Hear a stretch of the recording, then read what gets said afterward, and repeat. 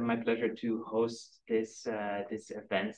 Uh, growing up in science, so what are we about? We're about the personal stories of the people who are doing science and who are working at uh, at our universities. So we uh, we want to have a space where people can share what it's like to be a scientist and uh, not only all the stuff that you put on your CV, you know, all of the grants that you got and all of the successes, but also all of the inevitable disappointments and the struggles and work-life balance and all these things uh, uh, are open for discussion over here. Um, so uh, today we have uh, with us uh, David Ragsdale. Thank you for coming. Uh, David is like when I first invited him, David said, "Oh, like my my my background or my career is not very typical for for people at in academia." and I immediately said, "Well, great. That's exactly why we want to hear uh, you as well, because we want to see how many different ways there are to work in academia and to do beautiful things uh, and meaningful things uh, for people uh, across the world. Um, so um, the format today is uh, I'll uh, first give the floor to, to David to um, introduce himself and like, tell a bit about, about yourself. and then I will try to hold back on all the many questions that I have. And uh, then we'll have a, like a more interactive part uh, where um, we'd be trying to go deeper into uh, into David and uh, what he is about. Uh, and uh, we also have the opportunity for the audience to ask questions and to also for the people who are following online. Thank you for being here too.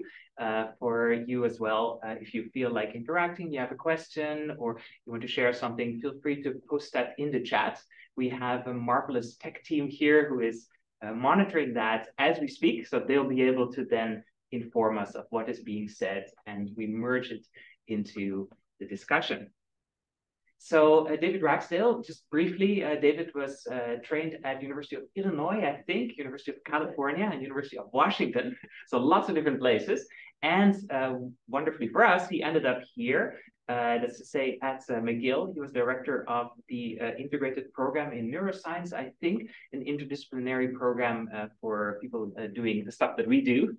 Uh, and uh, he focuses uh, a lot on teaching excellence and uh, on best practices in teaching. He's received numerous awards that like I don't even start to list them all, including some very prestigious ones from the from the Canadian Medical Association, I believe, and and many others. You can find all this information, of course, on his website. so I won't distract us from actually hearing David speak. So David, okay. um, please take yeah. a moment. So um, so thanks, thanks for that introduction, Floris. And and uh, I'm sort of speaking to everybody here online and so forth. I, I think what I'd like to do is um, I, I, just to, as briefly as possible, kind of tell you my story, right? How I got here, sitting in this chair Great. right now. And I think that you're, I, I, I uh, I agree with what you said that I think that the path that I've taken is um, ended up in a little bit of a different place than many of the speakers that have participated in this um, in this series. And um, maybe there's something to be learned from that. I think that there are, you know, in the course of kind of trying to describe how I got here, I think when I reflect back on it, there are a few, uh, maybe a few lessons that I learned in retrospect, things that maybe I, I might have thought about a little bit more in the course of progressing through my career. And so, not that I regret where I've ended up, but in, in, in, sometimes when I think back on it, I think, well, maybe there are some things that I wish I'd kind of thought of, things I wish I knew, or things I wish I had thought of at the time.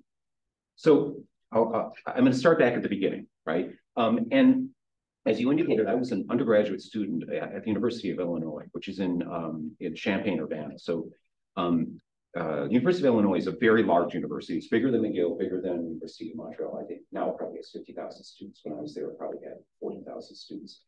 Um, but it's a university like many Midwestern universities in the United States. It's in the middle of nowhere. So it's this huge university uh, in a town of about 40,000 people in the middle of nowhere in central Illinois.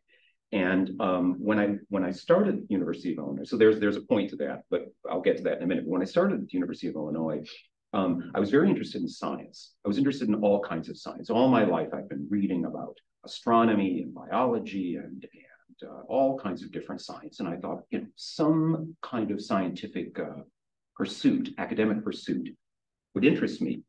But when I got to the University of Illinois, I, I was uh, um, I was a bit intimidated, a bit overwhelmed by by there I, by being there. I wasn't sure that I really belonged there. I wasn't sure that I was really smart enough or competent enough to actually excel. So I kind of was afraid to pursue some of the scientific domains that I thought would be too difficult. Right? I, I thought, well, you know, I'm very interested in chemistry, but chemistry is going to be too hard. And I'm interested in physics, but physics is going to be too hard. Um, uh, but I took some psych psychology courses, and I thought, well, these are really interesting courses. Um, and, and, and so this was straight psychology. I took an abnormal psychology course and an introduction to psychology course and courses like that. And I thought, well, th this is really interesting. And as I understand it, I won't have to take any differential equations or anything to, to pursue this, this, uh, this um, academic discipline, right? Well, I was very mistaken to think that to be a psychologist, you don't need to understand anything about mathematics. Of course, you need to understand a lot about statistics, but I didn't know that at the time. So I started taking these psychology courses.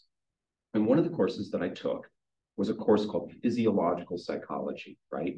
Now, you might ask yourself, you're a student now, you might ask yourself, well, what is physiological psychology?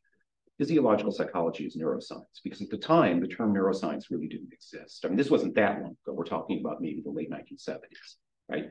But at the time, that term really, it, it wasn't a term that people used to describe investigating the biology of the brain. So I took this course in physiological psychology and I thought, well, that's something really interesting. So I took a few more courses related to that and ultimately got a degree in psychology. Well, now I was I was a, a, a 23 year old with an undergraduate degree in psychology, and I had no idea what I was going to do with that. But I managed to get a job working as a technician in a lab at the University of Illinois that studied learning and memory. So this was a lab. It was run by a guy named Michael Gabriel, and and what uh, what Professor Gabriel did is he studied um, learning in rabbits. So the, the, way that the what, what he did was he implanted chronically implanted chronically implanted electrodes in various regions of, of the cortex in rabbits, and then they trained the rabbits uh, in a, a, a sort of a learning paradigm where they put the rabbits in a big, great big running wheel. There's enormous white rabbits, right? And they put them, stuff them into this running wheel. And then the rabbits would hear two tones, a high pitched tone or a low pitched tone. If they heard the high pitched, one of the tones, nothing would happen. If they heard the other tone and they didn't turn the running wheel, they'd get a foot shock. And so the rabbits would gradually learn when they heard one of the tones to turn the little running wheel. And then they would record from these different brain regions while the rabbits learned this. And so I was the technician in the lab. And as the technician, I had all the terrible, horrible jobs, right? So for example, um, when the rabbits were first put in the running wheel, they didn't know that one of the tones was going to be associated with foot shock.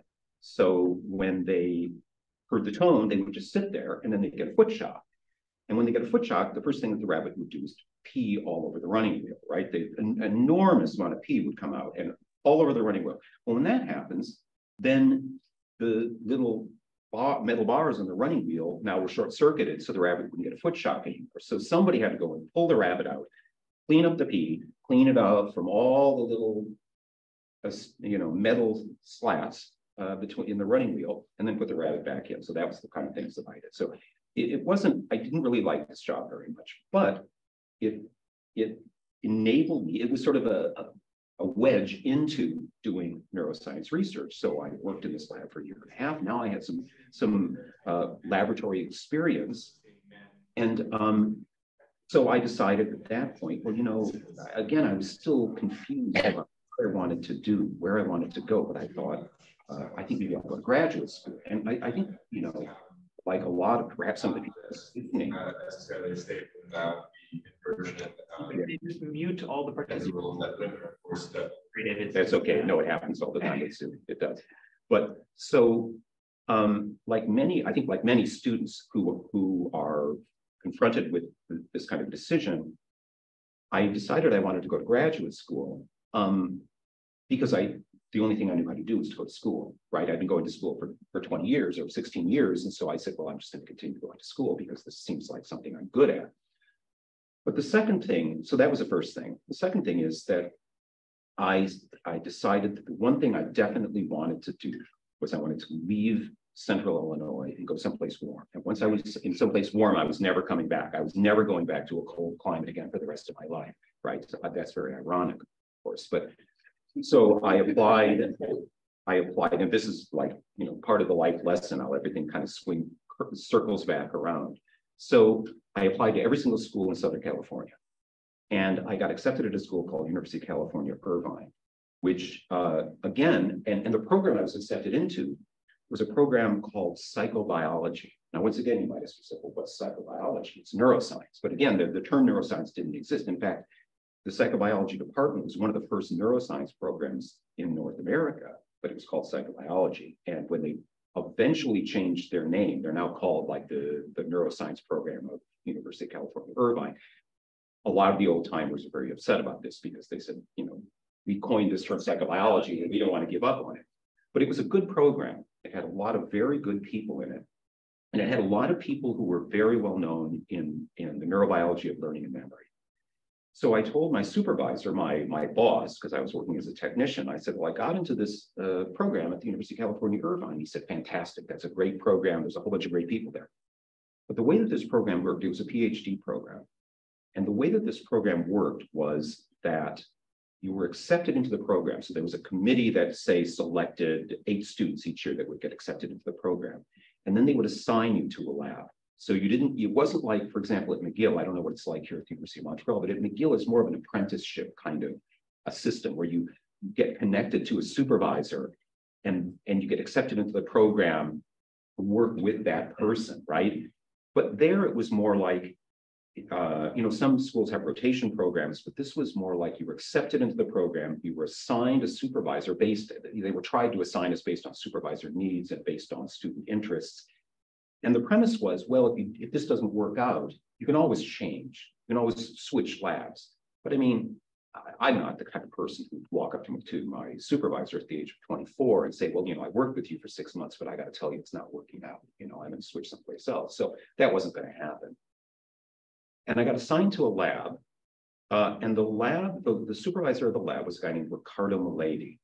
So I went to my boss, the technician, my, my, my boss where I was working as a technician, and I said, well, I got assigned to this lab by this, and the guy's name is Ricardo Miledi. And my, my boss looked at him and he said, Ricardo Miledi, never heard of it. This, this is, he says, no, no, no, no, no. He says, you got to go, and you know, there's these other guys there, and you got to go, you got to, you got to call them up, and you got to tell them that this isn't going to work out. I want to work with you know, Gary Lynch, I want to work, or, or Jim McGaugh or something like that. You don't want to work with this person. I don't know who he is. So um, I said, okay, well. So I went and looked up Ricardo Miledi's CV. And of course, back then you couldn't look it up on the internet, but I managed to look it up. And he had something like 250 publications. And they were in all these famous science publications and nature publications, all of these things. But I had no idea who this guy was, not a clue. Um, well, it turned out he was actually quite a famous scientist, and he was someone who, Miledi was a guy who worked with another scientist named Bernard Katz. You might have heard of Bernard Katz. So Bernard Katz worked with Hodgkin and Huxley, and Bernard Katz was played a seminal role in uh, our understanding of synaptic function. You know, uh, so really kind of a, a foundational role in, in our understanding of synaptic physiology. And he won the Nobel Prize in uh, like 1962. So Ricardo Miledi didn't win the Nobel Prize, but he was Bernard Katz's, you know, um, co-investigator in many, many, many publications. So there are many, many Katz and Miledi publications. And the main thing that they were, one of the main things that they were famous for is that they really worked out the the role of calcium in, in neurotransmitter in synaptic transmission, the idea that calcium influx into the presynaptic terminal is required for the release of neurotransmitter. They played a seminal role in working that out. Of course, I didn't know any of this at the time. But so this guy was a classical physiologist, right? So he, he wasn't, he, he, had, he had just come to the University of California, Irvine from University College London. So I was his first graduate student at, at uh, Irvine and um, and he wasn't he wasn't really uh, a psychobiologist like many of the many of the investigators at Irvine were. He was more of a classic classical physiologist, right? So he'd done work on like squid axon and squid synapse and things like that. So when I got to his lab, um, what I, he, I, you know, he, he was a very nice person and, and, and, and we talked about projects and it turned out that, that he had just, he was one of the people who had just developed this, what was at the time, a very new technique, which some of you might be familiar with.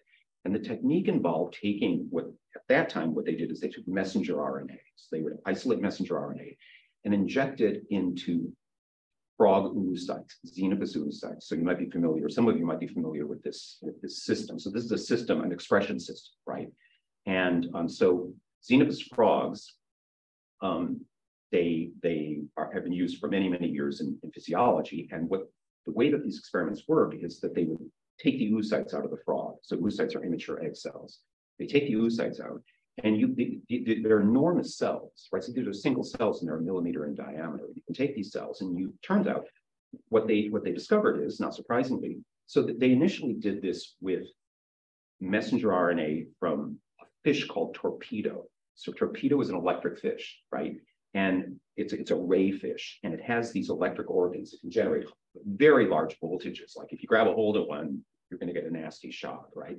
And they do this because these electric organs are basically almost nothing but nicotinic acetylcholine receptors. The electric organ is just rows and rows and rows of these nicotinic acetylcholine receptors. So what they would do is they took the electric organs, they ground them up, they isolated the messenger RNA, which is like 95% encoding nicotinic acetylcholine receptors, and injected it into xenopus oocytes, and the oocytes would take the messenger RNA and they'd make functional receptors and put them on their membranes. And then they could study them using electrophysiological recording because uh, Ricardo Miledi was really an electrophysiologist, right? And then they said, well, that's really great. So what if we take some messenger RNA from the brain and grind that up? So they did that. They ground it up and they extracted the messenger RNA and injected it into these oocytes, and the oocytes made all kinds of ion channels. They made ligand-gated ion channels like uh, GABA receptors and uh, and glutamate receptors, and they also made voltage-gated ion channels, voltage-gated sodium channels, voltage-gated potassium channels, and so forth and so on. And the, they just stick them all on the surface because the oocyte can't tell the difference between its own messenger RNA and the messenger RNA that's injected inside of it. So this was at the time a very new technique. Now it's it's a sort of standard operating procedure for many kinds of the ion channel studies, and it's been sort of superseded by by using uh, cultured cells. But at the time, this was a new technique, a technique for express, expressing ion channels in these cells and then studying the properties of the ion channels. And, and, and, and Ricardo was one of the people who really developed this, this technique.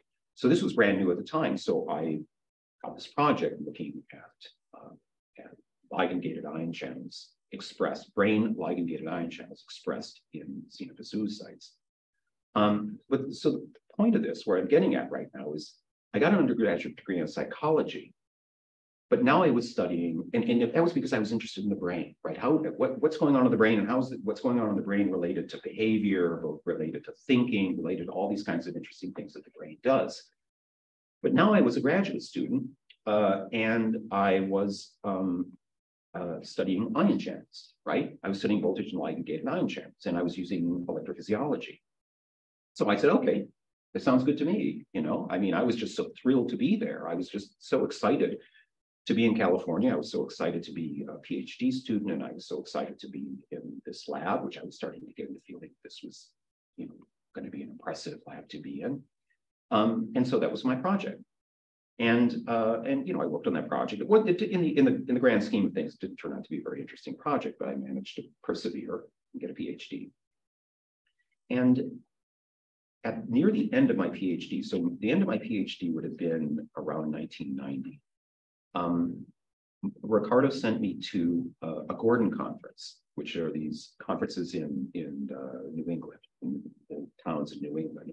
And this was a Gordon conference on, I think it was on probably the ion channels, most likely. I can't remember what it was. But at the conference, at the Gordon conference, I met a guy. We were we were actually standing by a river, skipping stones, right? And I started talking to the guy next to me. It, it, it turned out to be this guy named Bill Catterall, and I'd heard this guy's name before because because they, he, they had been talking about him. I should go back and mention one other thing. About, I'll just say one other thing about about Miledi's lab. So this guy, Miledi, was very European. He's very he's very continental, you know. And so the way the lab worked is we would come in in the morning and you maybe work for a couple hours doing your experiments. And then we would have a coffee break. Like it was like tea time, right? Because he came from England, but we had coffee, but it was tea time. So we would go and we would have our tea time break. And that would start at 10:30. And that would go on for an hour. You know, we would just sit there, usually drinking our tea and, and our coffee and talking and talking and talking. And, and then we'd go back and they'd do a little bit more work, and then it'd be lunchtime. So then they'd go off and they'd have lunch, and the lunch would last for an hour. And then they'd come back from lunch and then they'd have more coffee. So we'd have another coffee break, right?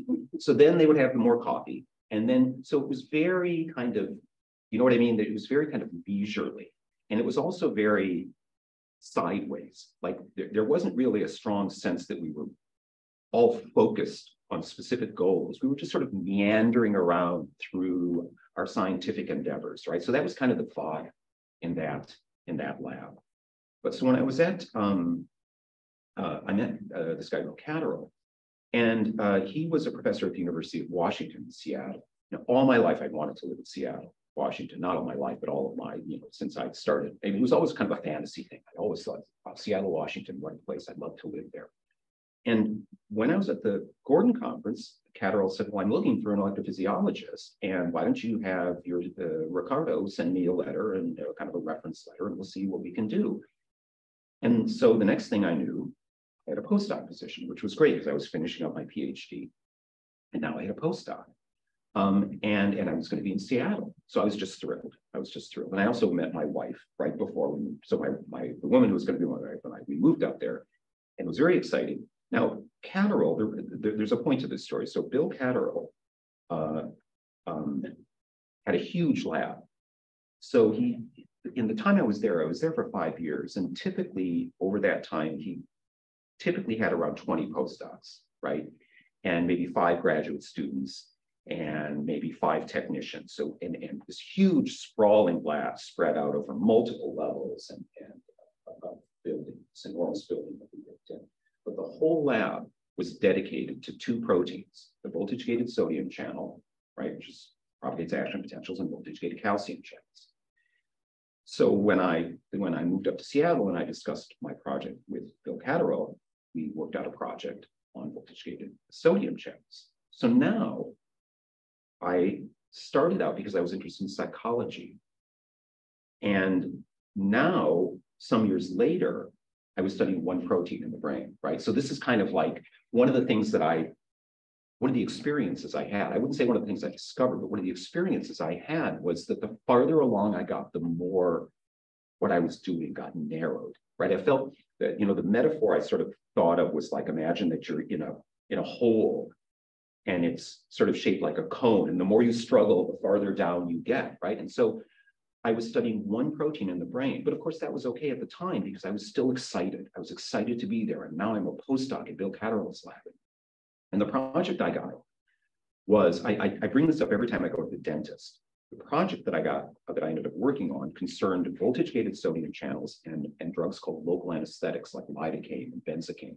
So the way that these drugs work, if you've ever gone to the dentist and had to have your face numbed, the way that these drugs work is that they inject the Novocaine, which is a procaine, I think. It's, it's just a local anesthetic, one of the many different kinds of local anesthetics, but they inject it into the nerve. And what it does is it blocks voltage gated sodium channels. So then those axons don't propagate action potential. So there are all these pain sensing neurons in your teeth. And when the dentist is drilling on your tooth, all those neurons are just getting activated. They're firing action potentials. But when they get to where the bolus of local anesthetic is, the sodium channels are blocked and the action potential stop there. So, but it, it, the project that I worked on was investigating the molecular mechanism by which these drugs interacted with, with sodium channels and blocked sodium channels. It turns out it's kind of a complicated the, the way that these drugs work is kind of complicated and interesting. And it's related to another family of drugs, which are uh, uh, which are used as anti-epileptic drugs. So drugs like phenytoin or dilantin. So these are commonly used anti-epileptic drugs they give that are given prophylactically to people who have um, who have epilepsy, and they work in a very similar way.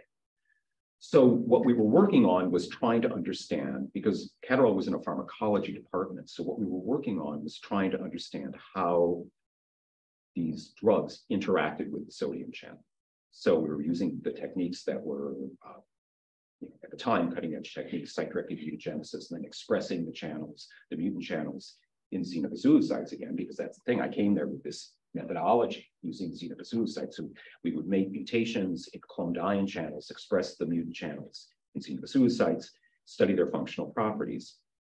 And we ended up um, with, you know, the work ended up turning out to be fairly interesting. And we, we actually got uh, uh, some pretty good papers. The, the paper that really kind of enabled me to come here to McGill was a paper that was published in Science in, in 1994. And it, it really has been cited a lot. So that turned out to be a good paper. So I managed to get one really good paper out of my postdoc and a number of other um, reasonably good papers out of the postdoc. Um, so then, you know, armed with that, I started looking for academic positions. And again, I was very much thinking about where I wanted to go. So if I could have stayed in Seattle, I, that would have been fantastic, but that wasn't an option. And I, I, um, uh, I, I applied to a number of different places, but I remember there was an ad in the back of Science for 10 faculty positions. This was in, I think, um, maybe 1993 or 1994, for 10 faculty positions at a place called the Montreal Neurological Institute, in, in which was in Montreal. Obviously, you guys know that, but I didn't know that at the time, right? And so, first of all, I had never heard of the Montreal Neurological Institute in my entire life, right? I had no idea what it was. Secondly, I knew next to nothing about Montreal, but it sounded cool. It sounded like a great place to. I thought Montreal, that sounds interesting, you know, because there were a lot of places I don't want to name any names. There were a lot of places that I didn't want to go that were where I could see that there were advertisements for faculty positions, but I'm like, I'm not going there. I'm sorry, I'm not going to go to that place. But Montreal, I thought that sounds pretty interesting. So I came here, and in any case, I managed to get hired along with this large cohort of people. So there was a whole bunch of, of uh, colleagues who came in at the same time as me who are now all aging with me, um, this cohort of, of, scientists. So now I was at Montreal Neurological Institute, and uh, I was studying voltage-gated sodium channels and how they interact with uh, anti-epileptic drugs. And of course, that fit in with the work at the Montreal Neurological because the neuro one of the main things that the neuro has been famous for and that the neuro is still involved in research and clinical care in is epilepsy. And so the fact that I'm studying um, drugs that were important anti-epileptic drugs uh, kind of made me a good fit for the neuro. And also the other thing was that at the time we were beginning to realize that mutations in ion channels can cause neurological diseases, including epilepsy. So there were at the time a number of mutations, naturally occurring mutations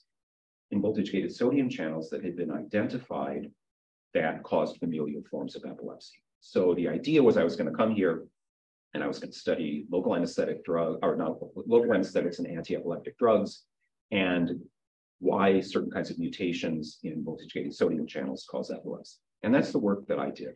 And um, so I, I did that for many years. And I was very modestly successful.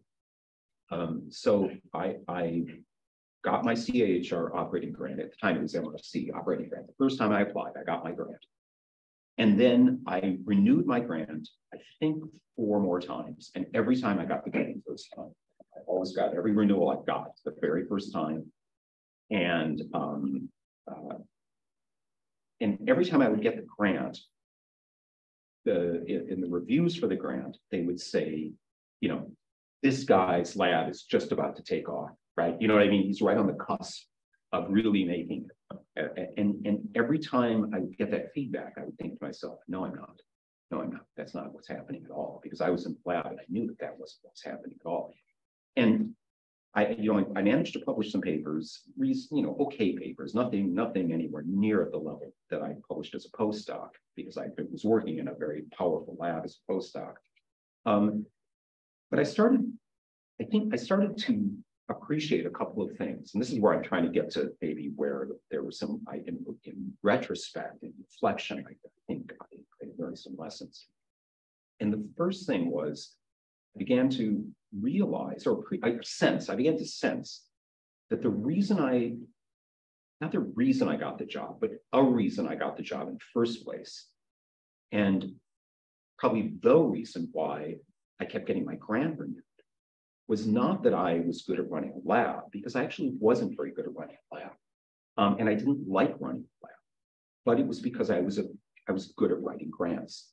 I was I was really good at writing grants, and I was really good at giving talks. And I was especially um, I was especially good. I liked being didactic. I liked explaining things. So, for example, when I gave the job talk at, at the Neuro, just to give an example, you know, a lot of the people there didn't do uh, you know electrophysiology. It's kind of esoteric, even for people who are in neuroscience, but maybe doing uh, molecular neuroscience or work or things like that. You know, they they they they see the you know they go to these talks. My my molecular neuroscience colleagues they go to these talks and there's all these squiggly lines, and they don't know what they're looking at. They're like, what is all this stuff? It doesn't make any sense to me. And and I've noticed that electrophysiologists generally don't bother to even try and explain what they're what they're actually showing. They they present these slides with like electrophysiologists I've noticed have a tendency to present like 18 panels in one slide with a whole bunch of lines on, and then they don't explain any of it. But I really liked explaining things. I liked explaining the experiments that I was doing and explaining what they showed. And, and people would walk away and they'd say, wow, I actually learned something. I didn't, I've never understood why, what those, what those figures showed, but now I understand. And it was the same thing in the grants. I write these grants, and the feedback was this was such a clearly written grant. It was so clear exactly where this grant was going and what this person was trying to do. And so I started getting getting the sense that that um, that whatever the skills were that I had, they were skills that were related to uh, communication and to explaining things, and particularly in, in scientific context. But in fact, working in the lab was something that I wasn't really very comfortable with. So there are a certain set of skills. I mean, one of the things about being an academic, right, is the fact that you're trained in a certain very narrow set of skills as a graduate student and postdoc. And then you become an independent investigator. And there are a whole set of skills that you actually need that you're not trained in, right? So you're not trained, for example, in how to manage money. You're not trained in how to manage people. You're not trained in all kinds of things all sorts of skills that are important for being a successful independent investigator as opposed to being a successful graduate student or successful postdoc, right? So you come up, for example, in my case, I came out, when by the time I got to McGill, I was a very experienced electrophysiologist within a kind of narrow, narrowly defined set of skills, right? So I knew how to do patch clamp, electrophysiology, and things like that. And I knew a little bit of molecular biology, which I learned as a postdoc. So I learned some technical skills that were useful in the lab. And I was able to apply them as a postdoc, right? Because I had, first of all, I had the protection of my supervisor financially. And secondly, because he was in charge of the sort of overarching program. When I got to be an independent investigator, that fell on me. Now I was the one who was responsible for all of that. And um, one of the things I discovered is I didn't like managing students. I didn't, I, this, I like students, so I'm going to try to make that clear, but I didn't like managing them in the lab. And I didn't like the pressure of having to be responsible for their projects uh, or the postdocs projects. And, um, and I didn't like being in the lab. So I, at some, but, but there was something that I did like, and that is I really liked the teaching, right? I really liked that. And um, and that was related, right? So this was connected to the, the kinds of skills that I was comfortable with, right? I was I really liked giving talks. I really liked presenting my work. I really liked writing grants. I really liked explaining things and discussing things with students. So I, um, what I decided at some point was, and, and that made me especially odd that would have made me an oddball if I'd been, if, if I had been hired by, say, the McGill Department of Physiology. But at least in the Department of Physiology or the Department of Pharmacology or the Department of Anatomy and Cell Biology, um, at least there's a teaching mandate. But at the Neuro, there's really no undergraduate teaching mandate at all. The Neuro is a, is a research institute affiliated and, and, and neurological hospital affiliated with McGill University, right? So, um, and in fact, uh, faculty at the Neuro, one of the things they have to do is they have to go out and find teaching assignments so that they can fulfill their teaching obligations to get tenure. So in my case, what happened was I was doing that, but the students really liked me. I was getting asked to teach more and more and more more. So more and more people are saying, I've heard you're a good teacher. We'd like you to teach some parts of our class too. So um, uh, I, I, was taking on more and more and more teaching responsibilities. And I found that I really liked that. I really enjoyed that. So at some point, about 10 years ago, I made a decision. I said, this is what I'm going to do. I'm going to do this. I'm going to, I'm going to do everything I can to immerse myself in the academic role of, of uh, teaching. And, and that's, you know, you might think of that as a very sort of narrowly defined role, like you're an instructor in a course. But what I realized, what I, I decided I ought to do, and I needed to if I was going to take this career path, was I needed to really embrace all the different roles that a person can play at the university uh, that are involved in that, that are related to effective teaching. So I right now I teach and I have for many years taught many, many, many classes. I got involved in uh, in education for medical students. Uh, so I teach the undergraduate students, I teach medical students, I teach the graduate students. Um, and I also got involved in other things that are related to the development of teaching at McGill. So for example, I've done many things at McGill. There's a there's a an organization, I'm not sure what the right term is to describe it, called Teaching and Learning Services. There may be something like this at, at UDEM as well, right? Which is which is um, at McGill to promote effective teaching at McGill, right? And so I got involved with that, and I've been involved in workshops and other things, and other uh, activities that are designed to facilitate and to uh, improve teaching at McGill.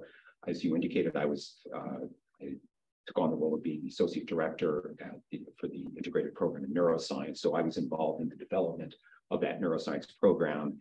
And I was the first uh, associate director. The director was named Josephine Nalbantoglu. She's now the dean of graduate studies. And I was the associate director working with her. And so Josephine and I developed the, the program as it currently exists and oversaw the program for a number of years. I was the uh, director for the cognitive science program for a number of years. Um, uh, and the other thing that I did is, um, and, and, I coordinate a large uh, course, a longitudinal course the medical students at McGill. And the uh, other thing that I got involved in was faculty development. So faculty development is helping have like the faculty learn how to be better faculty, but in particular, how to be better teachers, right? And so faculty development involves workshops and other activities related to helping faculty become better teachers. And so um, this transition that I made, so this is where I'm, I'm, that's my, my story is a little bit different than many stories. So there, there's, a, I, I think a couple things here that I want to sort of maybe try and articulate as maybe the lessons learned from this for me. I mean, the lessons that I learned. And, and the first thing is that this was really difficult at first. And I was very apprehensive because I was at the, I was at a research institute and I, I was a tenured professor at this point at a research institute. And I was jumping into, you know, jumping off a cliff and I had no idea what was going to happen. But I did it anyway because I felt like I really need to do this and I need to find out what's going to happen because I need to, I need to, uh, I need to pursue a career that is meaningful and rewarding to me as opposed to feeling that I constantly have to pursue a career that's defined for me by some other, you know, force or some other entity. And, and if that works out, wonderful. And if it doesn't work out, well, I, that's okay too. And so I worked really hard at making that work. And it has worked out. And I've been, it's, and, and I think that the, the time that I've spent over the last 10 years really focusing on these aspects of being an academic, which after all uh, academics are at, at universities and universities do actually teach students in addition to doing research. And so I think that, embracing that role uh, has made me feel a lot more satisfaction uh, and, and, made me feel like I was actually making greater contribution to McGill than I could have made being a, a sort of second rate, you know, you know, sort of struggling along as a, as a sort of second rate uh, scientist and just taking up lab space and, and, and taking taking up some grant money from other people, not really producing anything of any great um, consequence. The, a couple other things, though, I'll just mention a couple other things. Well, actually, so the, the other thing that I, you know, I've, I've talked to students about this story before, and when I talk to them about it, one thing that I, I, I try to express to them is that one of the things that I think in retro, see, I have no regrets about being here where I'm at right now, obviously, but one of the things I feel like I learned in retrospect from all of this is that at each step in this process, when I got that job as a technician, when I got the opportunity to be a graduate student in Miledi's lab, when I got the opportunity to be a postdoc in Catterall's lab, when I got the opportunity to be a faculty member at the neuro, at each step in the process, there was this, this balance between seizing opportunities and and defining your own identity, right? And I think that in, I think that I was definitely erred on the sides of seizing opportunities, right? So I had an opportunity to work as a technician in this lab, and I didn't, it wasn't work that I was particularly interested in or liked, but it was an opportunity. Then I got an opportunity to be a graduate student at Irvine. And even though it was in a topic that had never occurred to me to be interested in, I took that opportunity and told myself, I'm going to be interested in this just because this is an opportunity. And I worked really, really hard at it. And then when I was got to be a postdoc and I was now studying one, literally one protein in the brain, um, uh, it, that wasn't something that I would have had intrinsic interest in. But it was an opportunity. So I seized that opportunity. And really, even at McGill, um, I, it was the same thing. It was an opportunity, and I took the opportunity. And so I don't regret taking those opportunities. But sometimes I wonder what would have happened if I had been able to play a more active role in defining what I was interested in and what I wanted to do with my career, what I wanted to do as an academic, and what I actually really found interesting in science. So I don't think I don't have an answer to that. But I do think since I'm speaking to trainees, I'm speaking to graduate students, I think, and, and, uh, and postdocs, I, I, think that's really something that I would reflect on a lot is to what extent am I, am I defining my, my, my interests? And to what extent are my interests being defined for me? And how do I strike a balance between those two things? Because you have to seize the opportunities when they're there. But at the same time, you know, I, I, think that if I had a stronger sense of self, a stronger sense of self-identity as a, a, graduate student, for example, that I might have carved out a niche for my an acad, a research niche for myself, a scientific niche for myself that was more in line with what my actual interests were. And, and, or, and I'm not sure maybe that I even knew what my interests were, um, when I was 23 or 24 years old and starting out in graduate school. But maybe if I forced myself to think really, really hard about it, I would have been able to define those interests more effectively rather than having them defined for me. So just to circle back around.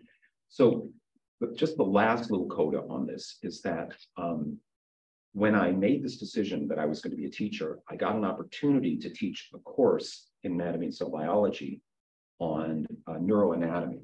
So this is as far away from studying voltage gated sodium channels in neuroscience as you can get, right? And now, now it's like the whole functional anatomy of the brain.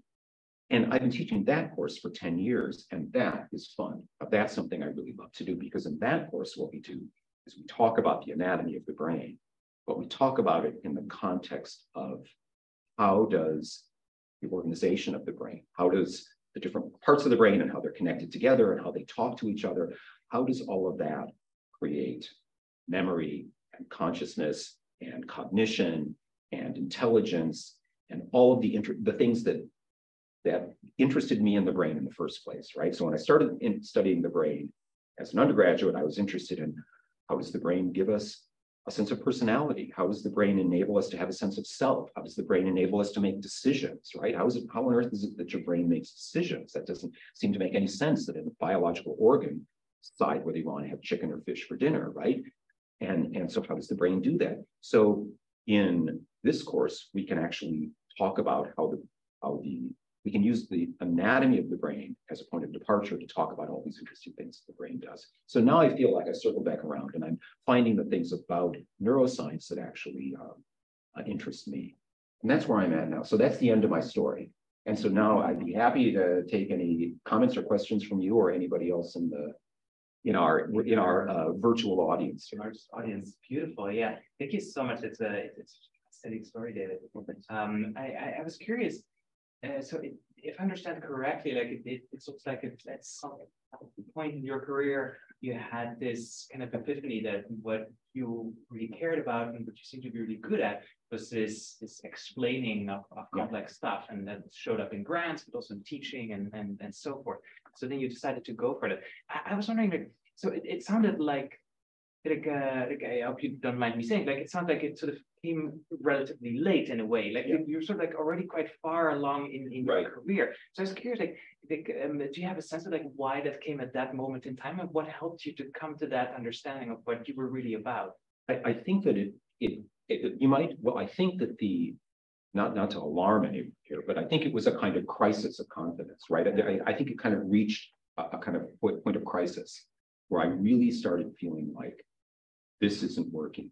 This isn't working for me. This isn't working. And, um, uh, you know, you can sort of keep trying to do this and probably puttering along doing this um, because, you know, not, not to, I mean, not to be too, I mean, I think that there are other researchers who basically do that right, who, who have reached the point in their careers where they're really not producing cutting edge research anymore, but they just keep doing it because that's what they do. And they keep applying for the grants and they, they don't want to lose their lab space and they, they keep doing using the same methodologies that they've been using for 30 years. And they're, they're not really, nothing that they're doing is really cutting edge anymore, but they can still churn out a few mediocre papers every year and sort of sustain themselves uh, as scientists. And I, I, I felt that that was something I just didn't want to do. So it was a kind of crisis of confidence, but at the same time, the sense I had that these are the parts of um, of being a scientist that I really like. In other words, what I, I for a long time I had felt like the parts of science that I really like are the communication aspects of science, uh, and that um, and and the technical aspects I, I, I was less interested in by, by technical, I mean, you know, like like getting some new microscope and figuring out how it worked, right? Or or getting some because electrophysiology is very gadget oriented, right? Lots of buttons and knobs to push and things like that. And a lot of the people that are into it are the kind of people that if they weren't in neuroscience or if they weren't in biology, they might be electrical engineers or something like that, right? And so um, and so uh, I, I realized that that really wasn't where my interests were. I, I, felt for a long time what I was really interested in was the more communicating in science. You know, and, and again, if I perhaps had a stronger sense of pursuing my identity earlier on, maybe I would have pursued that earlier on. You know, for example, there are there are some really interesting science writers out there who do very interesting work in science writing for, for, for prestigious publications and things like that. And maybe something like that would have been interesting. But I was you know, one of the things I think about, one of the things I, I find that's interesting, and again, I think this is relevant to students now, is that uh, in particular, when, when I was doing my training, you know, the, the path was very grooved in, in science, right? So you, you got into graduate school, you got a PhD, you got a postdoc, and then you got an academic position, right? And this was very that that's just the, the path was grooved for you. So you really, that you didn't have to think about that path, right? If you wanted to do something different, though, that would require effort. But if you wanted to just go on autopilot, you just did, you did your graduate, did your graduate work until you got close to the end, and you applied for some postdocs, you got a postdoc, and then when you got done with that, you applied for an academic position. And basically that's that's um that's what I did, right? And I, I think that again, in retrospect, I think if I had a stronger sense of self-identity early on, I might have thought, even at the end of my PhD, well, what do I really want to do with this thing? What do I really want to do now? And I think that's relevant now because more and more students are getting, for example, PhDs or masters or PhDs or, or postdoc, finishing postdocs for that matter, and then taking going on alternate career routes, right? Because the idea that everybody who gets a PhD is going to get do a postdoc and then an academic position is not realistic and it's not what a lot of people want to do. So I think that it is important for so for people who are at this stage, for those of you in the audience who are at this stage in your careers, to be really thinking about that, you know, what your identity is right now, what it is you want to do, because you're not constrained by that sort of groove that we felt constrained by, or I felt constrained by. So I was uh, just finishing up my training. You know. Yeah. It's it, it, it, I'm I'm wondering also in, like in, so in your case, what came up when you asked that question about what you really what you really cared about was was like teaching and communicating, and it, like I, I was wondering, it, it sounded like from from what you said that like one signal to, in that in that decision was that you just also were really good at it. Like you got feedback, you yeah, got like right. asked by people to teach and so on. And um and, and so I, I was wondering what like were you was it that like you were good at it because you cared about it or like you cared about it because you were good at it did you have like a sense of like how that yeah well let's see so that's i think a little bit of both right yeah. i think that i think that i when you when you do something and you get positive feedback it makes you feel like i want to do more of this right because right? this yeah. is something i feel good that's getting me excuse me the kind of positive feedback that makes me feel good but i i also think that um um you know that for some kind of peculiar reason, I, I actually really enjoy explaining this. And, and that, uh, and, and so that's something I've always enjoyed. And I've always been, uh, something that I've always put a lot of effort into. I don't want to say I've always been good at, but it's something that I always put a lot of thought into. You know, I remember when I was writing grants, I remember when I was reading grants, and I was on grant review committees, I would read a lot of grants and I would think to myself, these guys who are writing these grants are smarter than me and they're better scientists than me. And this is an absolutely horrible grant. You know, what are these guys thinking? And when when I would write a grant, I would, write the grant and then I would rewrite it and I would rewrite it and I would rewrite it and I would spend spend a whole day on two sentences, right? Because I'd say that's not right. That's not what I, you know, that sentence, it's it's full of words and the words are sort of vaguely related to what I'm doing, but they're actually empty and they don't re really say anything, right? I've, I've, I've, I've, you know, I've, I've, I've cobbled together some prefabricated scientific phrases that are often used in my field to make a sentence, but I actually don't, I'm not saying anything. And the reason I'm not saying anything is that I actually don't know what it is I want to say, right? What is it I actually want to say? And then I think and think and think about that.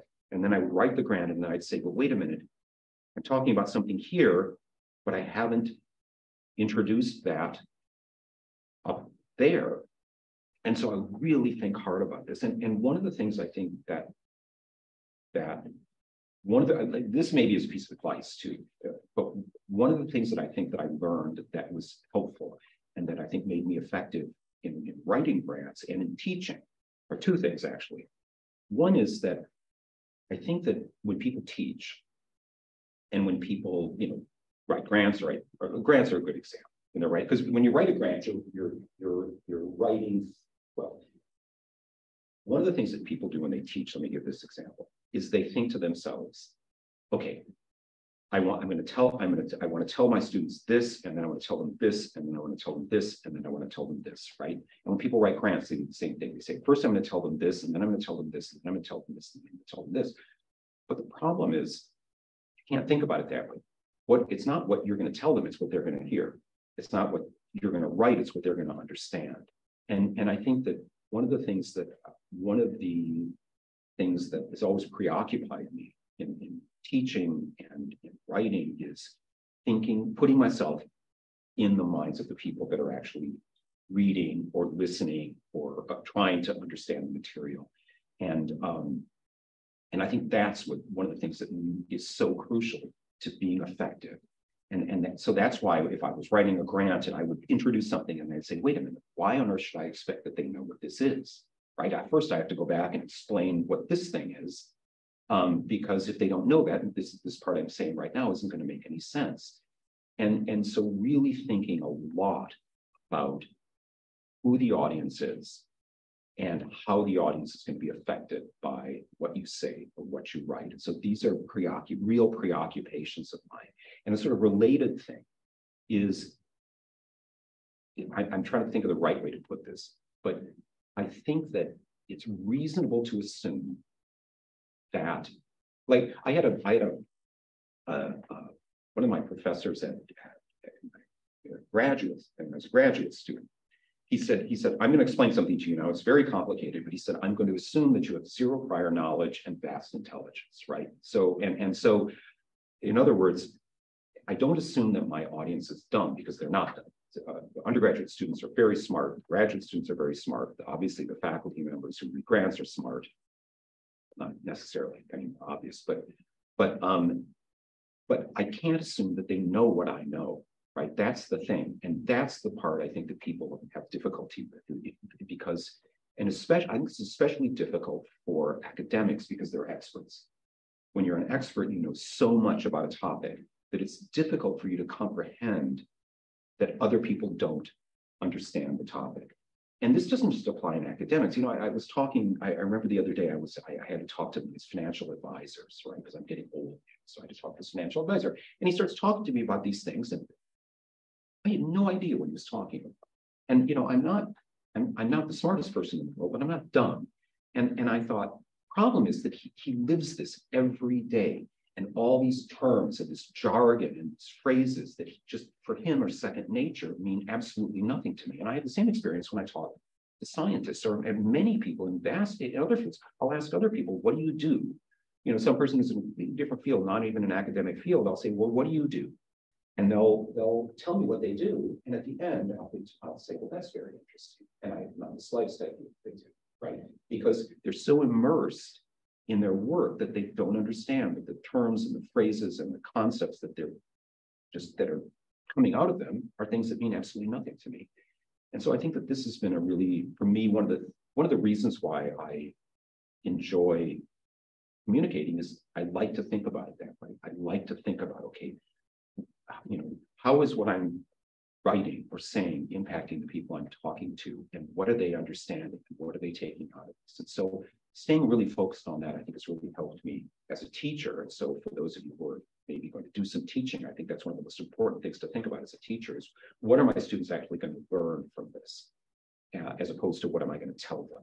And I think the same thing applies in things like writing grants, because you know, one of the things about writing a grant is that um, it's very likely that one of the people the people who read your grant are going to be knowledgeable sort of generally in your area, but they're not going to be experts in what you do, right? So if you write a grant, if I write a grant on voltage-gated sodium channels and submit it to one of the neuroscience committee in CIHR, it might get reviewed by somebody who knows something about neuroscience, but they may not know anything about voltage-gated sodium channels. And so they, you know, I, I can't be, I can't assume this knowledge that they have. And if I do assume that they're going to pick up my grant at 10 o'clock at night after a long, hard day, and they're going to read the first page and they're going to say, oh, God, here we go again. Another one of these grants, another one of these grants that I can't understand, right?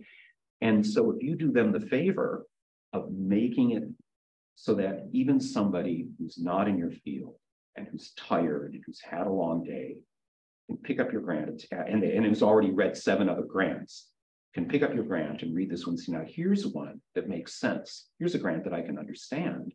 That's going to be really effective. And I think that's why I was effective in writing grants because I made that assumption. I always thought about that all the time when I was writing the grant.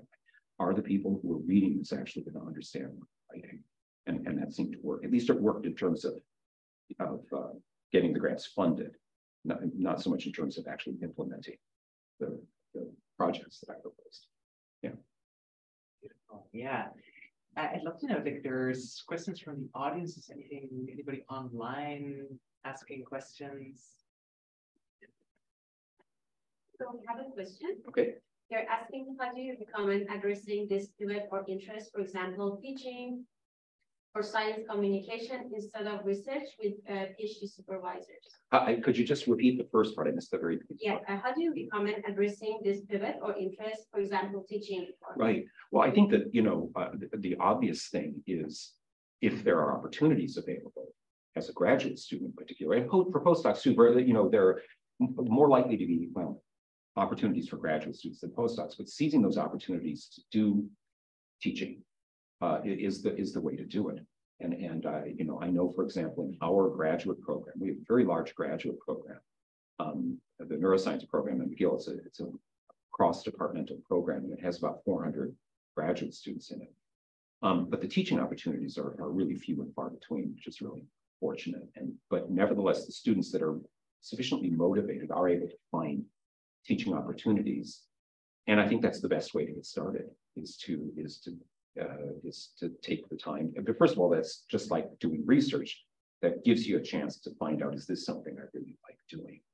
Um, and secondly, it gives you practice. And thirdly, it gives you something you can put on a CV that then may help you get subsequent uh, opportunities down the line.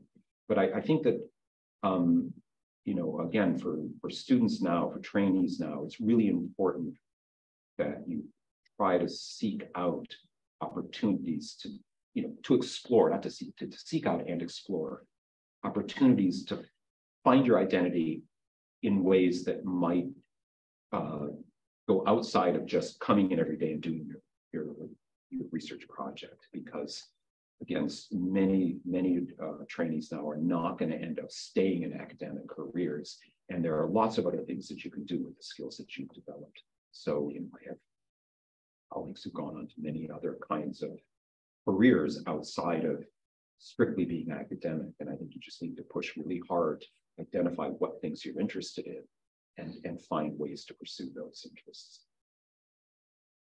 And um, the another question was how they can communicate this with their supervisor that their interest is not research, it's like. Well, I, I think that can't, I'm not sure because, I, well, a couple things. One is I don't think you can communicate to your supervisor that you're not interested in research because that would probably not be a good idea. Because if you're not interested in research, you probably shouldn't be in, in a research lab. And I think most supervisors wouldn't take that as a good sign.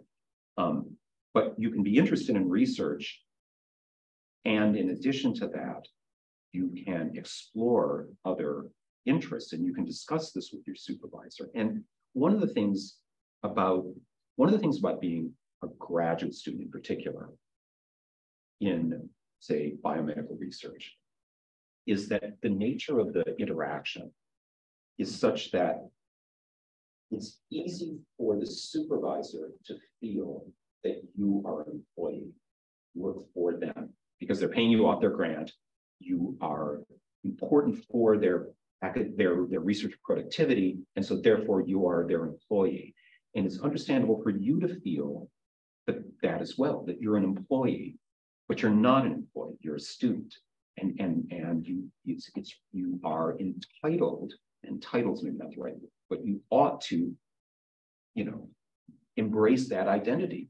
You, you, you know, when I hear, when I was a, a um, you know, uh, the associate director of the neuroscience program, you know, students it was not uncommon for students to approach me and discuss the fact that they wanted to TA a course, or they wanted to take a certain kind of course, or they wanted to do some other kind of professional development. And their supervisors were saying, you can't do that. You can't do that. I expect you in the lab all the time. Work for me, and this is what you have to do.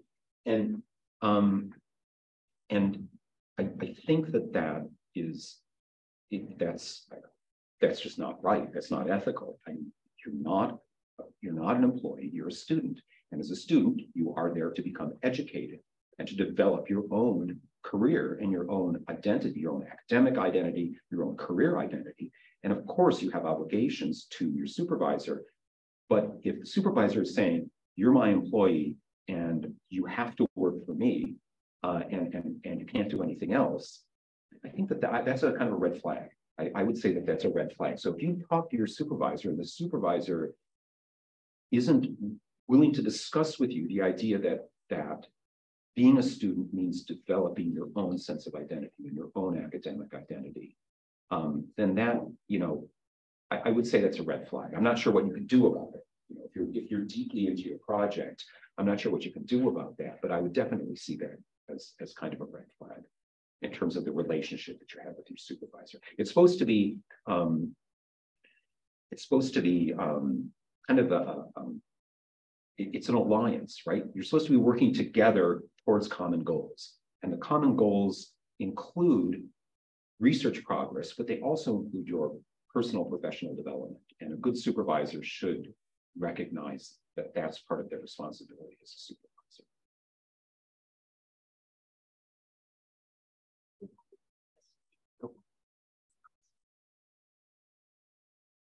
Yeah. I have a question. I want to know more about uh, your PhD faculty. Pardon? Your PhD. Uh, My, my PhD path? Like in what sense? More about it in what sense? It was what we struggle more during our academic um, career and uh, really was something decisive for your path. Um, so, so my, my, I'm not sure I understand, like, are you, you're asking me to sort of reflect back on my PhD and what was? Can, can you just ask it one more time? Yeah, just, I, I'm sorry, I'm just having. that. I just want to know the struggles of your PhD because you said you need to. I think that, I think there, I don't think there were any struggles in my PhD. I think what I, what, I think what I'm, what I was suggesting is this. When I was, and again, I, I, I'm saying this as something that I reflect on in retrospect. And that I think it's something that I would suggest that students uh, should reflect on. When I was a graduate student, I was very, very motivated, right? I worked really, really hard. And I, uh, uh, it meant, it was very important for me to be like one of the best graduate students in the program. But in retrospect, I was, mo- my motivation was not that I was fascinated by the project. My motivation was I wanted to impress my supervisor and I wanted to be one of the best graduate students in the graduate program, right? So I was being motivated not by something that was inside of me, but by external factors, right? There were things, there were, there were other people outside of me, and it was their interests and their motivations that were motivating me, right? And it was the same thing as a postdoc. As a postdoc, I worked really, really hard as a postdoc, and I wanted to be one of the best postdocs in uh, in my lab, right? And and my my supervisor, he singled me out and me and a couple other people out because he said, I want you guys to go into academic careers, right? So I was one of the people that he sort of selected. He said, you ought to go, you know, I don't want you to go into industry like all these other postdocs, because a lot of the postdocs at that point were just going into pharmaceutical companies. He said, no, you have to pursue an academic career.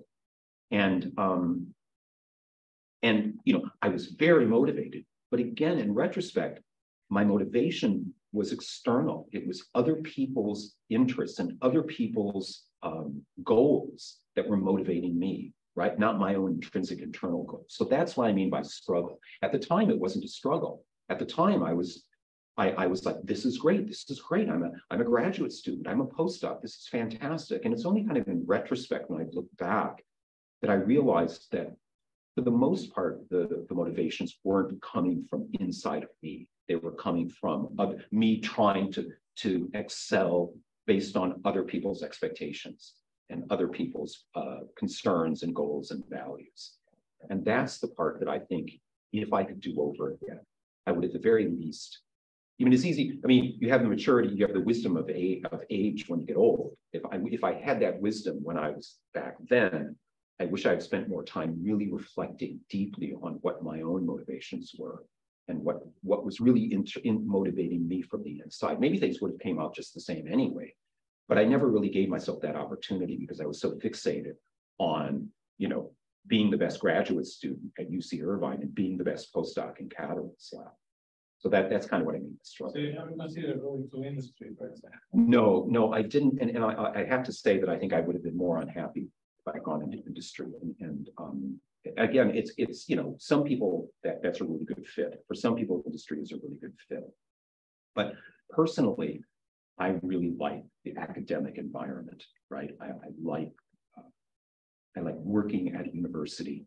I like the, the rhythms of the university, right? I mean, I like the fact that I don't have to have any kind of like security clearance. And I like the fact that I don't have to wear a tie. And I like the fact that I pretty much, you know, on a, I have a tremendous amount of autonomy. I mean, that's very important to me to have autonomy. And so, you know, I, I mean, I'm being a bit self-indulgent because I want all the perks of academia without necessarily wanting to follow the rules of academia. But um, I, I think for personally, for me, an academic career, some kind of career like that was important for me because I wanted that kind of autonomy. And I don't think you have, my impression is you don't have that kind of autonomy in a pharmaceutical position, although there are other advantages. to having a job in a pharmaceutical uh, position. And most of most of my, for example, when I was in Catterall's lab, all these postdocs that I knew, almost all of them went into work for biotechs or for for big pharmaceutical companies after they left Catterall's lab. So um, I think that's a good fit for a lot of people. It just wasn't. Yeah. Retrospect is interesting.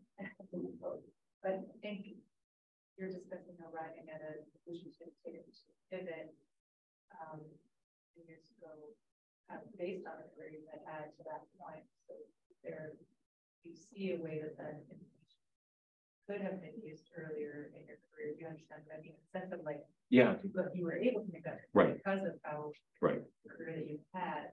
Say, I, I want to teach right now. Yeah. would that have been applied earlier? Yeah, I, I, mean, that's a good question. That's a mis that I, uh, that's a, a, mystery to me. I don't know. But but the, the thing is, so you know, all the decisions that I made led to the place that I'm at right now, right? And and I think that I, where I'm at right now is a good place. And so I, I really can't regret any of the decisions that I've made.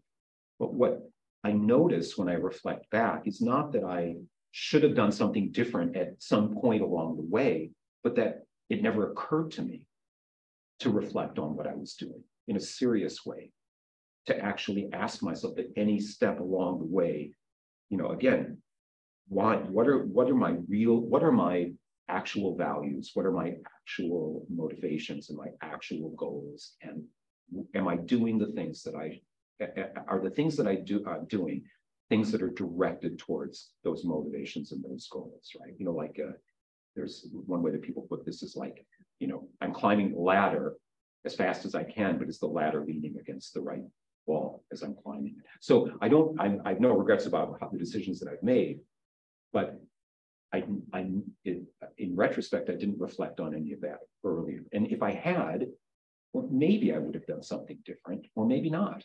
Maybe I would have just said, well, I, you know, this is very interesting. I've reflected on this, but I still think this is the best course of action. It's very possible I would have done that. But it would have been interesting if I had at least had that self-reflection. You know, I think that that it, it's just it's just interesting to to try to imagine what that would have been like, and if I was giving advice to myself uh, in my past self, I would say do that. Go through that exercise of actually thinking really hard about what it is you actually want to accomplish in your life, and whether the direction that you're taking is actually directing you towards accomplishing the goals that actually are meaningful for you. Because who knows, maybe it would have gone on to something completely different. It was interesting to me that one of the first things you said was like you had kind of a realization that you aren't very happy at one stage, and you said, "But I'm just not the type of person to say that." Right. So like, right, exactly. You know, well, that's that's right. That's that's that's a really good point. You know, so so for example, uh, you know, it takes. I I think in a way, kind of what you're also saying is that it takes to to say, okay, I'm I'm in something and it's working, but is this really what I want to do? And is this really the way I want to do it? it takes maturity and it also takes courage. It takes self-confidence. And you know, those were things that when I was 23, I did not have. I didn't have the maturity, I didn't have the self-confidence um, to do those things. So part of the reason why I think I just did what a, you know, whatever came to me was that that I just didn't have the qualities at that time that would have enabled me to actually do that, right? And and so some people maybe do, but but I, I didn't at that time. I would never I would have never gone to my graduate supervisor uh, after six months and said, well, you know, uh, you know, ion channels just really don't interest me. And I think I'm gonna, I'd like to uh, switch to a different supervisor. I couldn't, I, I just didn't have that kind of person. Some people do that, of course. And, they might be able to be more assertive. I have one more question. Okay. So how do you feel about PhD students taking on a position that doesn't necessarily require PhD, but really interests the student? Is that a waste of the PhD training? Right. Well, again, I mean, this, I mean, so couple, I'm trying to think through this. Yeah, because so first of all, um, when you when you do a PhD, you you know at the end you get a degree, but you also learn a lot of things along the way, right? And so the value of your PhD isn't necessarily just contained in the degree, it's also contained in the things that you do to get to the PhD. So if you've learned about things that interest you, you've learned, um, you, you acquired knowledge that's of value to you, and that you might want to apply in a way that really deviates from your PhD and doesn't require the degree, uh, that's not necessarily, I think, bad thing, right? I think that, you know, so so in other words, I think it sounds like what the question is implying is what if I get the PhD and then do something that doesn't require a PhD? Was that PhD a waste of time? And and it may might have been a waste of time, but not necessarily. I think that that if you if you learned over the course of your PhD things that are of value to you, what things that are that are meaningful and important, if you apply those things in a, in a way that, that isn't directly related to, you know, waving your PhD in front of, say, an employer and saying, look, I have this PhD, and that's why I should get this job. I still think that might be a really valuable thing to do. And again, just to circle back to this, this, you know, sort of basic idea that I've been trying to introduce. Um, one of the things that I one of the things that I, I do uh, as part of faculty development is we, we do workshops on personal effectiveness. And one of the things that we talk about right at the start of these workshops is this idea that one of the first steps in personal effectiveness is identifying core values, identifying what it is that you actually want to accomplish with your life. And so if you're thinking about your life in those terms, in terms of what do I really want to pursue that's going to make my life meaningful, it, it, it doesn't, and, and that involves doing something that doesn't directly uh, involve your PhD degree, well, that's okay. If you really reflected deeply on that, and this is really important to me, and this is really something that's of value to me, then I think it's entirely worth doing. And of course, not to mention the fact that even if you, you pursue something that doesn't directly involve your PhD degree, that PhD degree may come back later to give value to you later on. So I, I, I would not be afraid to pursue an interest beyond your PhD that you know that doesn't necessarily directly utilize this you know the, the, the most obvious skills. Because you learn all kinds of things in a phd beyond um, beyond say which buttons to push in the pcr machine right? You learn you learn uh, effective writing because you have to write you have to write fellowships and you have to write chapters and you learn um, you learn various other kinds of skills. You learn various other kinds of communication skills, for example, you have to give presentations. So you learn all kinds of things that have value that can be translated into other domains besides doing scientific research. And so I don't think that you should minimize the, the, the skills that you acquire and the knowledge that you acquire as a PhD if it's not directly related to, to uh, the degree itself. So I would encourage people to pursue the things they're interested in. Yeah. Okay. Yeah. Um, yeah, I'm really interested in what you're saying about how you were initially more externally motivated and you managed eventually to find more of your yeah. own intrinsic motivation. I think a lot of PhD students can probably relate to that. And I was just wondering if you had other advice about how to try and make more of that shift motivation from external to internal? You know, I, I don't have any advice. The only advice, that, well, I mean, the only advice that I would give is simply that for me, I mean, because this is an internal journey, right? You have to look inside yourself. You know, um, one thing that uh, is sometimes suggested uh, for people in various fields is to write a mission statement. I don't know if you ever heard of this idea, but you, the idea is you, you sit down and write out statement that articulates what it is that you value and what it, what how those values are going to be translated into your into your goals, right? Into sort of your life goals. And this sounds like kind of a Mickey Mouse thing to do. But if you actually try to do it, it's a really, really hard thing to do, to actually try to sit down and write a mission statement for your personal mission statement is a really difficult thing to do.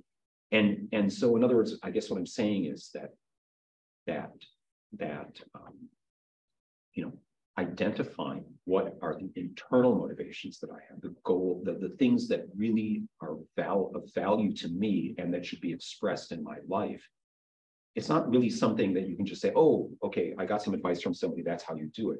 It's a, it's a, it's an internal struggle that you really have to work hard at. And, and I think that in my case, what in what I would say is that it took me a long time before I actually decided I needed to do that exercise, really think hard about what my motivations were. So the only advice I would give to students is you can do that now. You can look right now at your life and say, what, what am I doing? You know, what is it I really value? What are the things that I think are really important? What are the things that I think are really going to be of value and important in my life? And how do I want to express those things in my life?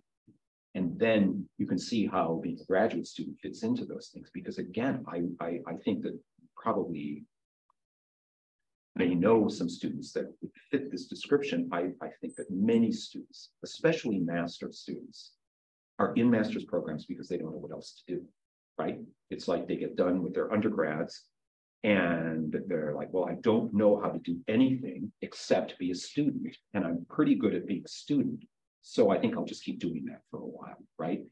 And um, clearly that's not the kind of, that's not what I'm talking about. That's not the kind of motivation I'm talking about, right? So you can keep putting off that exercise of really reflecting on, you know, what you want to accomplish and what is meaningful to you, which is in a sense what I did. Not because I did that overtly, just because it didn't occur to me for a time to do that. I was so caught up in, in just trying to, like I said, trying to be a really good graduate student, really good postdoc, that um, I didn't stop to reflect on how what I was doing was related to what really, what really, uh, really valued.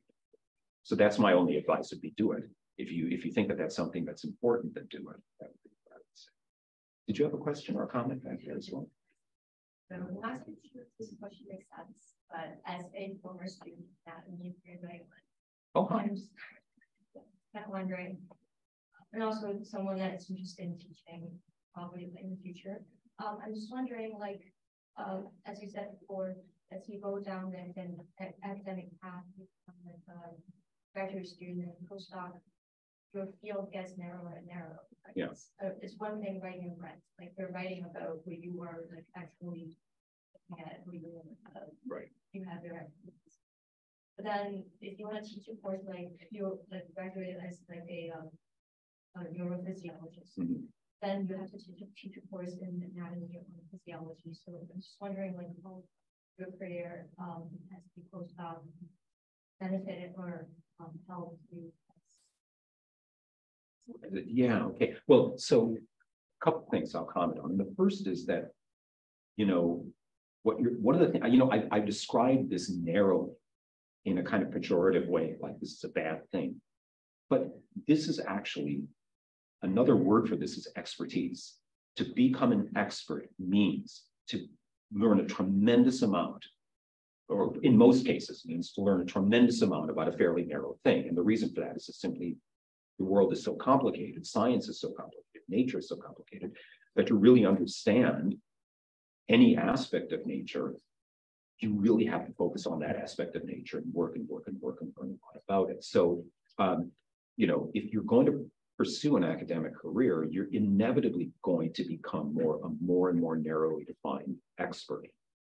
And so that can that can that can live along with uh, acquiring a broader knowledge about more, the more general knowledge, right? And, in terms of, but the, so so I, I, think that the expertise that I learned as a graduate student, postdoc, and researcher was valuable in, in the sense that, well, I know a lot about one thing, so that's really good. So if somebody comes up and asks me questions about voltage gated sodium channels, in that case, I really do know what I'm talking about, right? Um, and so that's kind of a good thing. But um, also, you know, over the course of being a graduate student, a postdoc, and an academic, I had many opportunities to write grants and write papers and give talks and do all of those things. And all of those activities helped me develop uh, my skills as a communicator, right? And, and they helped me not only because I was doing these things, but because I was getting very intense feedback, right? If you write a grant and the grant's no good, it's not like you just wrote it and turned it in. I mean, you get all this feedback telling you why your grant's no good, right? And so um, the, the, practice of being an academic, I think does help you to develop skills that are relevant to being a teacher, for example. But I, I, I do think that, you know, you know, for example, in this course that you took with me, which is this neuroanatomy course, I mean, I'm not an expert in almost any of the things that I'm talking about in that course, right? Because we never talk about sodium channels in the course, right? Except fleetingly. Um, but I think that that's okay because um, because it helps me. First of all, it helps me to appreciate that my students aren't experts either, and so they may find certain concepts difficult, right? So if I find a concept difficult, and I'm struggling with it, then that probably means they're struggling with it too. And so that gives me a kind of empathy that I think is helpful as a teacher. And also, for most kinds of teachings at, at most levels, uh, you, you actually don't, most students don't need real expertise. Most, most students engage in most topics at a level where they're not digging deep, deep, deep down into, into detailed expertise. And in fact, they don't really need to know that stuff at all. When I was a, when I was a, I, I, I was the director of one of the, I still am the director for one of the blocks, the medical students. And the, the block used to be, we changed the curriculum, but the block used to be, um, the first block that the students went into was basically five weeks of like an undergraduate degree in cell biology and molecular biology, just crammed into five weeks, right? And, and the idea was, well, all the students have to learn all this stuff because you can't be a, a medical student, uh, you can't be a doctor unless you know all this stuff. And I would sit through these lectures and I would listen to these lectures come in and I would think to myself, they don't need to know any of this stuff.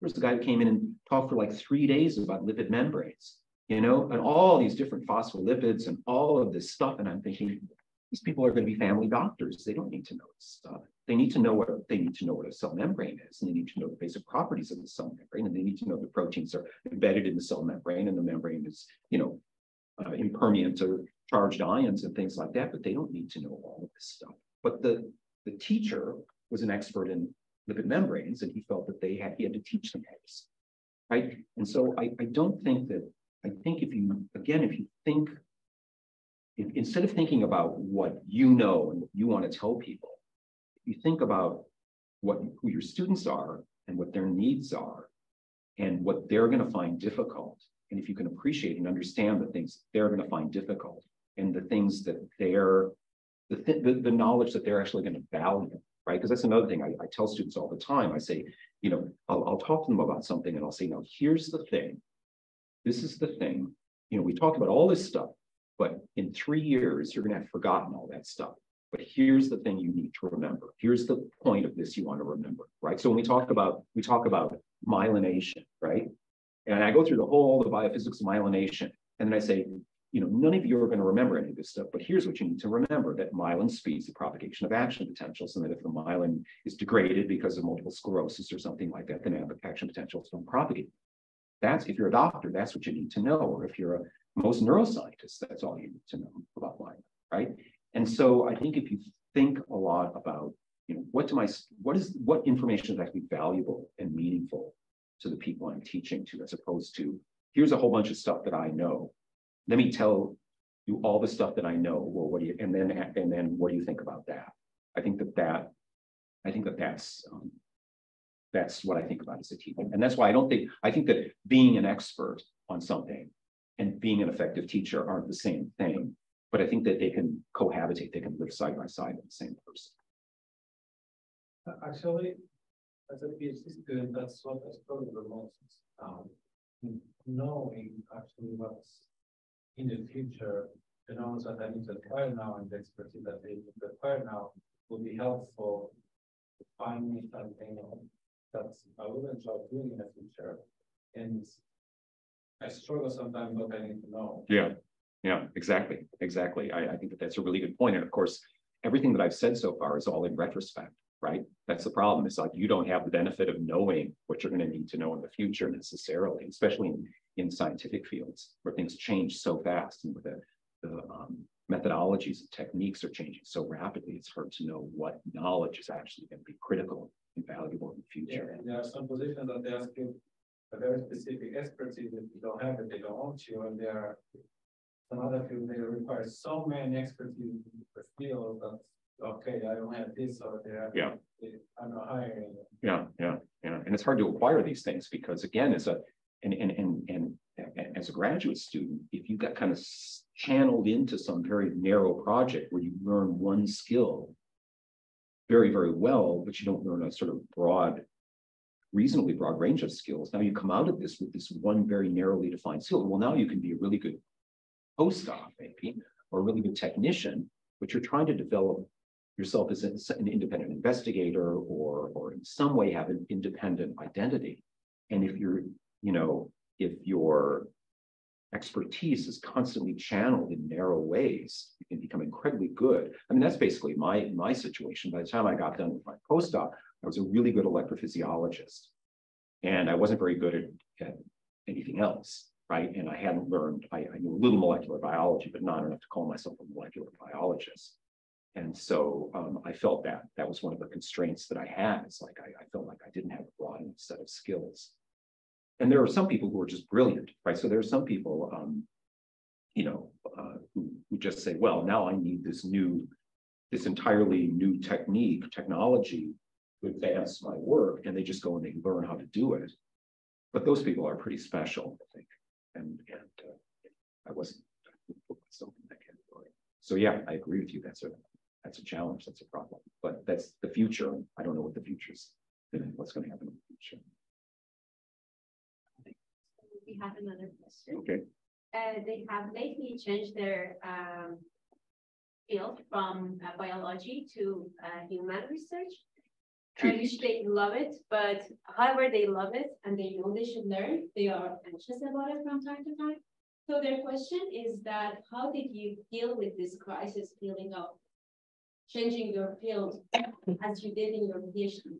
What is your? Right. You mean, so when I decided, okay, I'm gonna focus on teaching as opposed to, is that the crisis you're referring? And no, their question is they have changed their field, Right. like from biology to human research. Okay, So uh, they love it, but they are anxious about this big change. And they know you have done the same thing at your PhD, like when you change suddenly, a big change happened for you. right. And they want to know how did you deal with this crisis and this big change? Yeah, so I mean, again, I, you know, uh, I, guess I'd say two things. So in terms of my personal experience as a PhD, I got an undergraduate degree in psychology, and then, um, you know, when I got into graduate school, I was suddenly doing research that was really, you know, um, molecular physiology or something like that. I'm not sure that's the right term. So it was much different than what I was trained to do as an or, or what I learned. I wasn't trained to do anything as an undergrad. What I learned as an undergrad.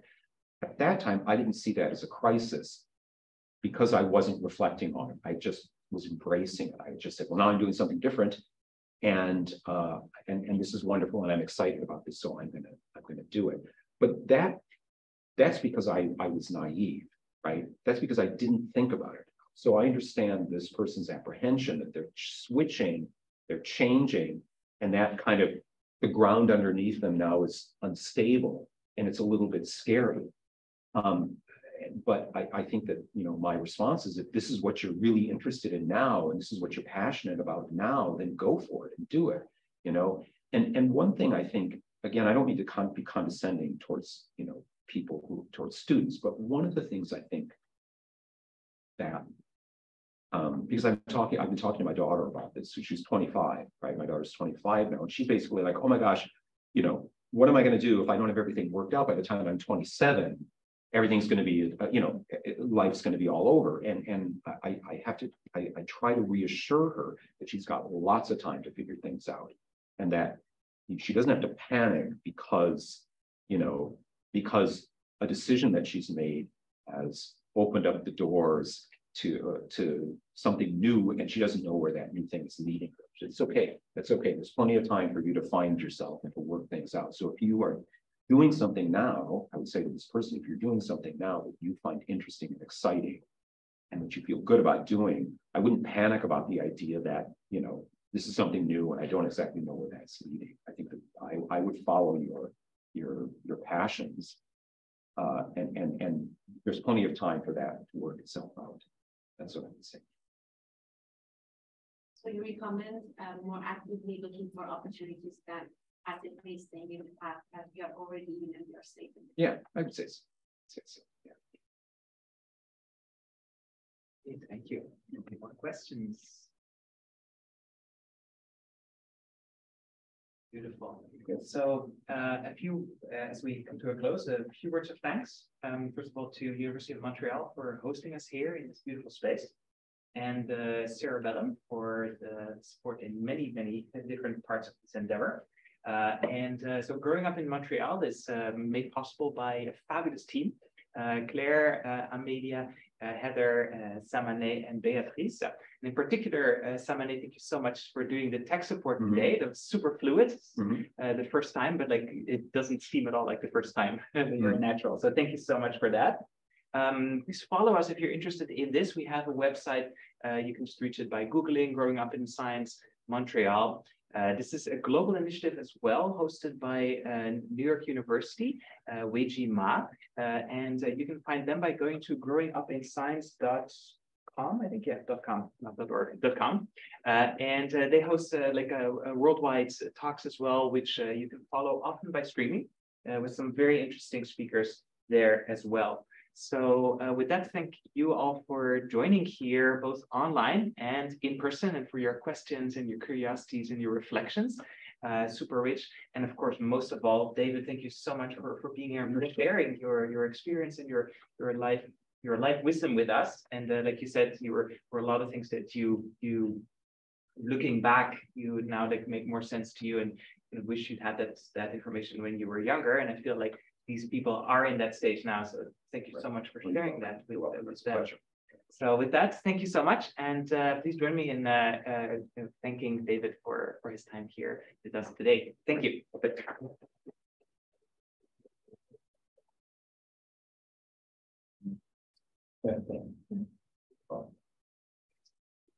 Yeah.